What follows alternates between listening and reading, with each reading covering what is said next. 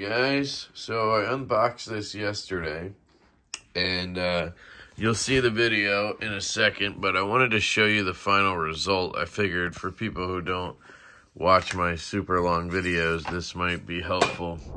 So this came in from Kaviso Outdoors. I want to give them a big thank you. They sent me this to uh, review and keep, which is really cool of them, honestly.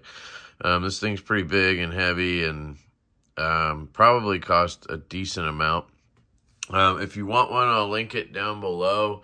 I think I just uh, linked my Amazon affiliate stuff with them. I don't have a discount code or anything with them. So um, this is a sort of valet uh, and storage thing. It's pretty cool. So you have this drawer down here. These are actually two separate pieces. This will lift out. You'll see in the unboxing.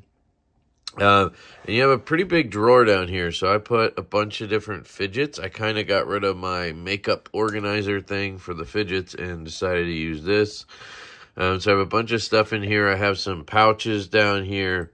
Over here, I took out, uh, there's a pen holder that goes in here, and you'll see that in the unboxing.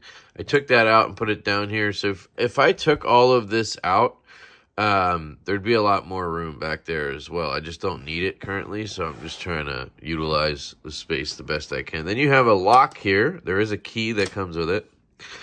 And this glass lid pops up, which is really cool. Um, and then you have a bunch of storage in here as well. You'll see I kind of uh, filled this up with fidgets.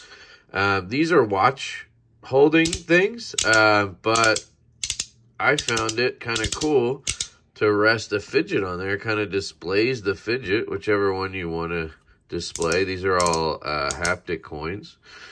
Uh, well, this one's actually a uh, slider coin, but dope nonetheless. And then I have my little chickadee right here. This is where that pen holder was. So the pen holder kind of sat right here. And you could put two pens on it, you know, like that. Um, and then you could have slid something in the front here, I think. But uh, this just seemed to make more sense for me. Then down here, I have a bunch of other fidgets. Just kind of let them hang down there. Um, and then you have this cool sort of knife uh, section right here. I did have another one. Hold on. I had this guy. Northwoods Leatherworks Coast Slip and the traditional PocketKnives.com Ohio River Jack. And then I have all my Jack Wolves right here. Well, not all of them. There is one other one that I don't have there. So that's the lineup of Jack Wolves. I'm already out of room basically, but this lifts up too. And you actually have room for more stuff back here, including, if you can't see there, there's a spot to run cords. So if you wanted to use it to charge something or keep something that has power in there or just, you know, I don't know what, but it's cool that it has the option. So there's a look at the valet slash storage box from Kaviso. And uh, here comes the unboxing, guys. Thank you for watching. Hey, guys. Kev here. And I have an unboxing to do for you. So this one comes from Kaviso Outdoors. And it's a big-ass box over here. So hang on a second. I'm to cut into it. It's a new sort of valet station or something they have. And I don't know if it's enormous or what. They also offered to send me a Boker knife. So we'll check that out. But I want to check this thing out first. Using the Rosecraft Blades Monster... I wanted to say Monster Dog, but I think it's called the um, Pocket Monster. To unbox it, I actually really like this knife. Cheap little knife, but it's good. Oh my god, thing's huge. Okay, I think it comes in parts, so just bear with me, guys. Some kind of, I'm gonna have to zoom out. It's got some kind of, um, I don't know what. Ballet thing. I will be linking this on Amazon, I guess. Okay, that was one box. There's another box in the box.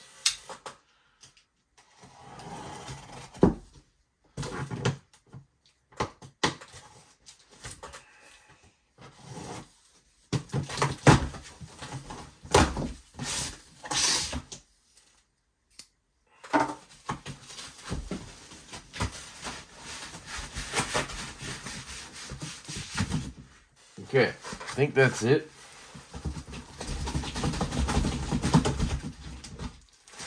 Pretty sure that's it.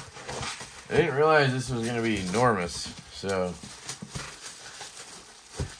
I mean, I realized once the box showed up, but not when I said yes. Okay. This, I believe, goes, I'm going to have to lift this up. Hang on a second. Okay. I believe it slots into this piece, right? Does it?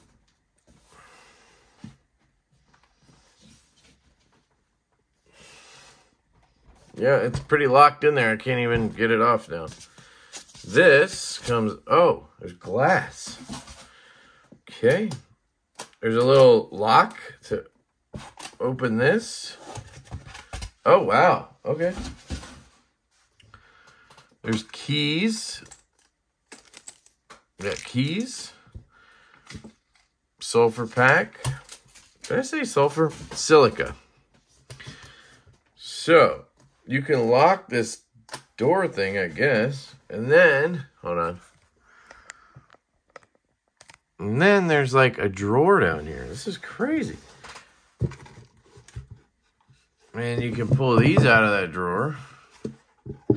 Or obviously leave them in. Cool. Drawer at the bottom.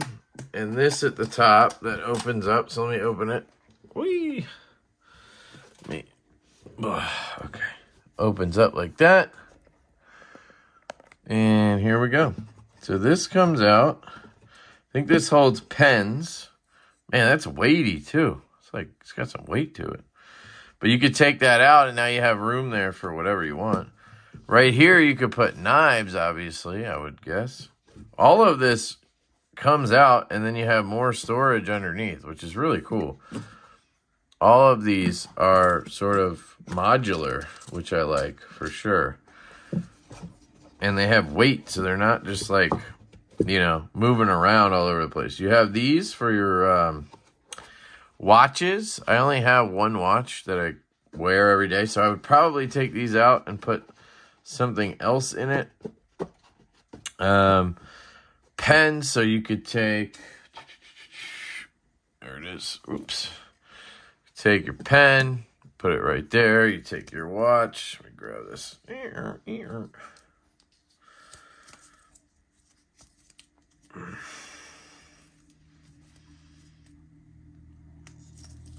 Take your watch and you would put it wrapped around one of these guys, I guess, right? Like that.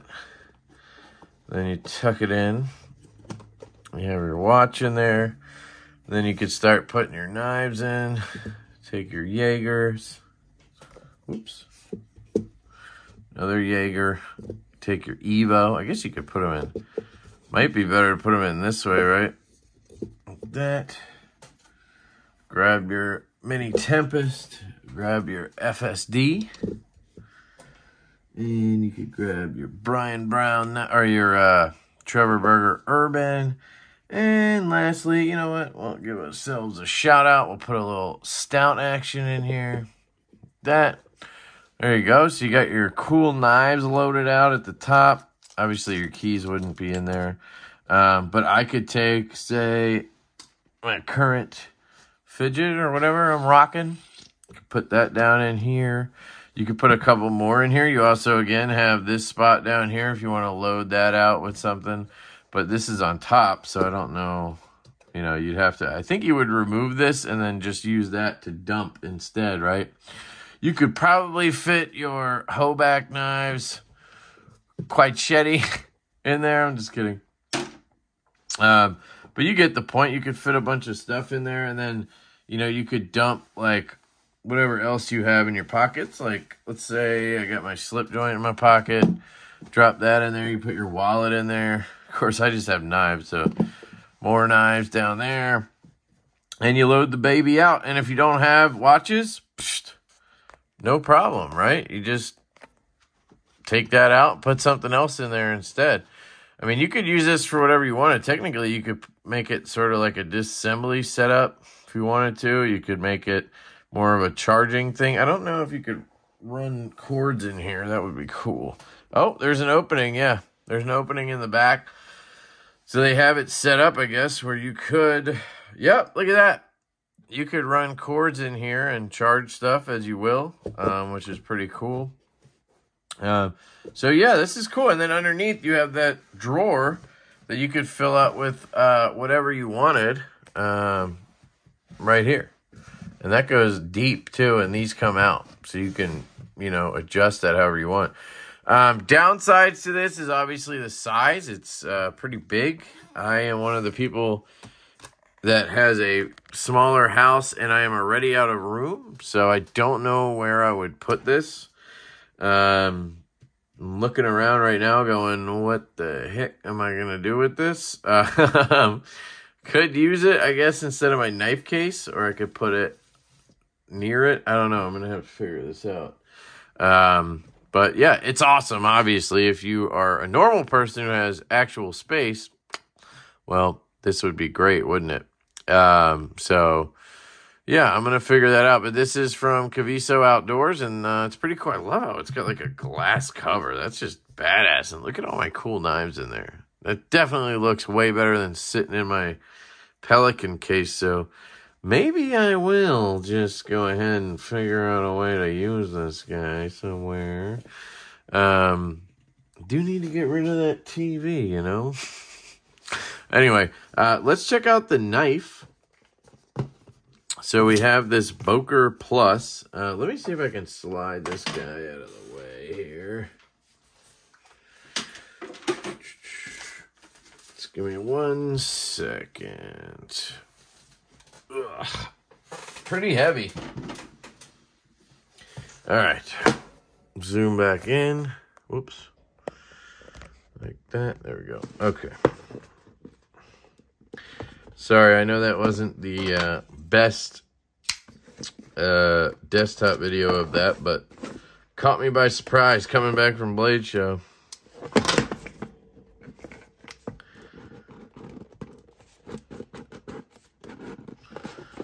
This is the Boker Plus Kaizen in green and satin. Made in China. They did tell me I could keep this stuff, which is pretty cool, considering that thing is enormous over there. Normally, I'd be trying to give it away, but um, I don't know. Don't know. Can't really ship it. This is tiny. What is this thing? What the heck is this? Looks like the, um, look at that flipper tab. It's almost non-existent. I was expecting a knife, not a toy. I'm just kidding. It looks like a CEO knife, the CEO from CRKT. Look how small that is. Uh, right hand only, but it is a clip, but it is a liner lock, and the blade is hidden, so you really, you wouldn't have much danger of it. Let's just see how the G10 is. Okay. All right. Very, very slim blade. Holy cow. Look at this thing. S35, flat grind. No rock. No play. I mean, it's solid. Ergonomic grip. I mean, it's, okay, not ergonomic, but it feels good in the hand, honestly. It's not bad. Action for a tiny little knife like this, pretty good.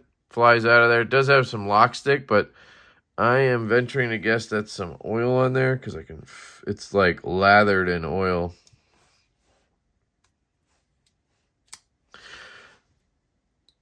It's a very odd flipper. It's just very hidden. I mean, this is very minimal, guys. But it does catch you, and you can uh, get it. If you just break the detent like I showed you earlier, it will fail. But, you know, it's meant to be flicked, and it works just fine in that sense. Shake it, close it. Yeah, this is actually interesting. I mean, it's not something I would ever buy or probably wouldn't recommend it either, but um, you know, if it's your style, I mean, it's dead center. The the quality here is good. You have a sort of metal pommel lanyard thing at the bottom so you can crush some stuff, you know. Wow, this is weird. Got this disc right here. Crazy. This is definitely one I'll uh, probably show my wife and see what she thinks. Uh, just because of how small it is and everything. Uh, the G10 feels really good. It, it almost feels like my Carta. It says green. Doesn't say G10, so it could be something else. I don't know if you can see that micro milling and everything. It's really nice. Just a steel deep carry clip, but that's fine. It's a CEO type knife, so go in your front, you know, uh, chest pocket or whatever. And when you need a, a, you know, three and a half inch blade, you got it. Maybe not three and a half, but see how sharp this S35 is. Yeah. Look at that. Oops.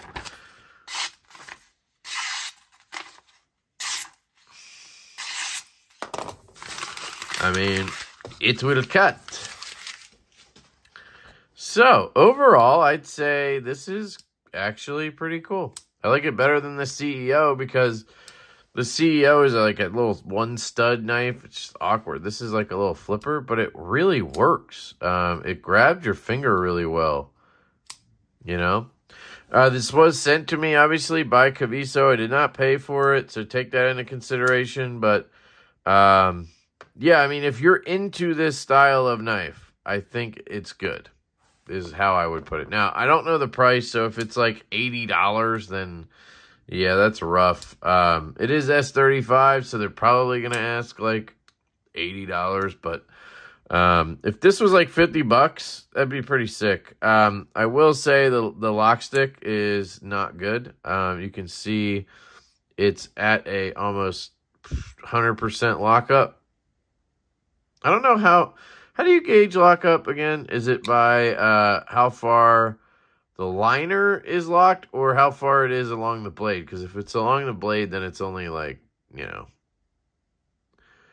40% or something. So I apologize if I'm wrong about that. But my point is the whole lock bar is engaging the blade. And You can see there, the harder I flick it, the farther it goes, and it causes that stick. Um, if I do it lighter, you get less of it, and you still get the stick. So that's kind of a bummer, the stick. I tried cleaning the lock face off, but I don't think it's oil. I think it's just bad geometry. Um, steel on steel situation, all that stuff. I don't know. It's not the end of the world. It's not like tough lock stick. It's just the clicky kind. So, um, anyway, got some jimping here. Feels good in the hand, like this and this, and it's actually pretty ergonomic. Yeah, this isn't as bad as I uh, I thought it was. So, all right, there we go. We got the Boker. Um, Kaizen. And we have this uh, valet tray thing. That's pretty cool. Uh, so let me know what you guys think down in the comments. Uh, thank you to Kaviso Outdoors for sending this stuff along. I appreciate it. I hope you guys have an absolutely fantastic day. I love you all, and I will catch you later.